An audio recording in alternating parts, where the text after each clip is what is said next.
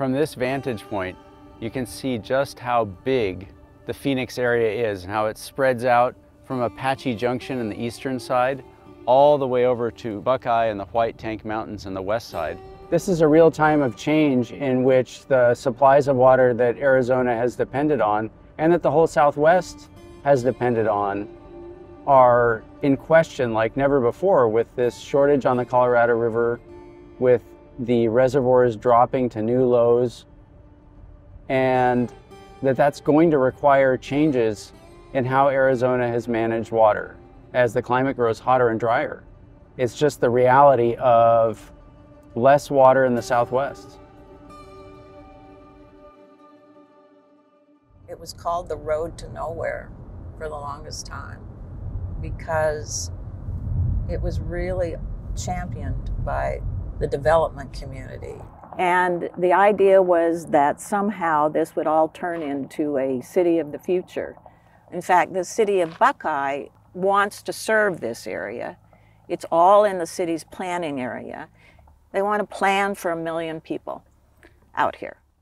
I don't think there is enough water here for all the growth that is planned. And even if there was, it would be finite groundwater that would not would run out at some point even if it was here for a hundred years. What after that? Because that water is not replenished. And so once it's pumped it's pretty much gone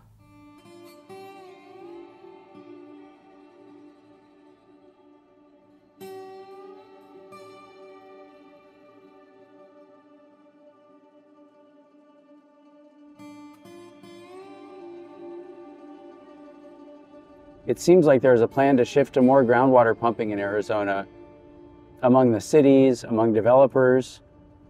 And of course, those groundwater supplies are finite. And so there's a lot of discussion in Arizona about what sustainability looks like in the long term as the state receives less water from the Colorado River.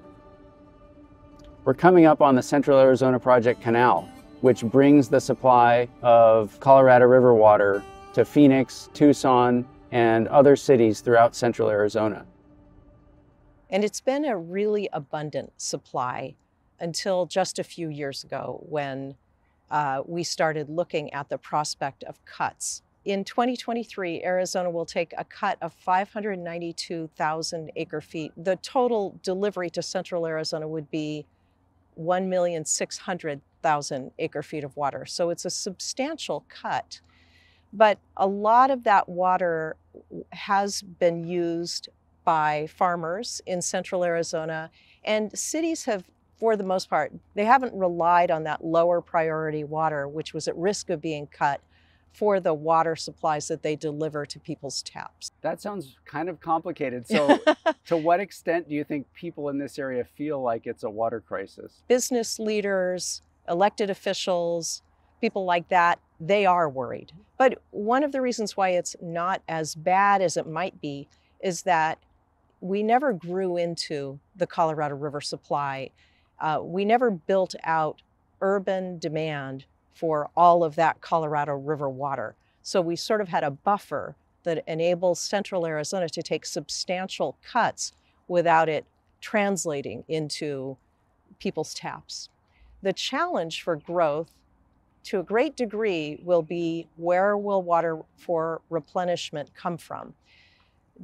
Growth has relied on extra CAP water for replenishment for a long time. How soon we'll get to the point where there isn't sufficient CAP water available for replenishment is the big question. People need to take this situation seriously. We need to work at it. We cannot ignore this issue. Uh, but Arizona has a long history of meeting these water challenges, and I think that Arizona will do that again. We're in the city of Peoria, and we've come to a city office building to talk with Cape Powers, who's in charge of their water department. I wanted to just understand more about the mix of water supplies that you have in the city of Peoria and and ask you about the shortage and what it means. We have access uh, to water from the Colorado River, of course, through the Central Arizona Project Canal. Uh, we also have access to Salt uh, uh River Project water, SRP water, and we also have reclaimed water. The fourth water resource uh, we have access to is groundwater, and we try not to use that. That's something that we want to save for the future. And so, if we should see one of those water resources become less available than it has been in the past, we're able to shift and move and wiggle where we get the water from uh, in, a, in a manner that allows us to continue to meet the needs of the community. So, this isn't a situation where there's an imminent threat to the city losing its water supply. Nobody's taps are going to go dry, right? That's not what's happening the real danger here, the big picture stuff, is that you know this community, this this valley returns to where we were back in say the 1970s and 1980s. You know, back then we didn't have access to Colorado River water, and the groundwater tables were suffering because of it. And if we don't have Colorado River water and we don't have a source of supply to replace that, you end up right back where you were then.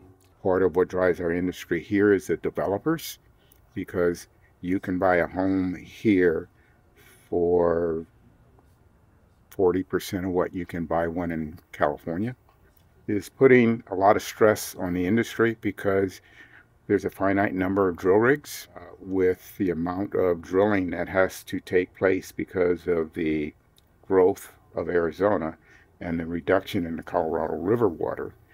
How busy is it? I mean, how every drill rig that my company has is spoken for until May of June of next year. As Arizona looks to more heavily use groundwater, that's going to mean possibly over pumping groundwater in places and, and uh, having declining water tables. Now we're drilling down into water that's been there for thousands of years. We're tapping on our bank supply that hopefully will last us throughout the crisis. How long can we last before our aquifers start to show the effect of what we're seeing in Colorado River. So hopefully, if you manage it properly and use the water intelligently, then we should be able to manage the crisis.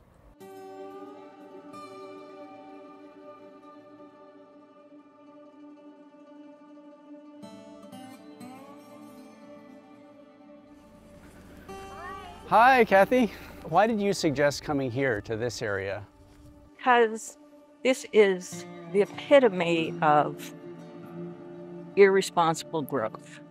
It is growing on desert lands, raw desert lands, where there's no other water supply except groundwater. We have to look at our water as a whole. And it's really hard to separate one water source from another in terms of sustainability. So if the Colorado River dries up, that's 40% of the water supply of uh, the valley. Right. So imagine this um, duplicated over and over and over again on both sides of that roadway. feels that way to me that there are no limits really, that we're just continuing to grow and it, the growth is very much looks the same as all the other growth wall to wall houses. It's unsustainable. It's completely unsustainable. We do not have the water supplies to meet the needs of all this growth for what really needs to happen, which means forever. And so we've kind of turned a blind eye to the fact that we're not managing our groundwater. Well, it's the same thing that we did on the Colorado River. Either we do something about this now or we pay the consequences later. And we're paying the consequences now with the Colorado River because we didn't recognize and deal with the problem soon enough.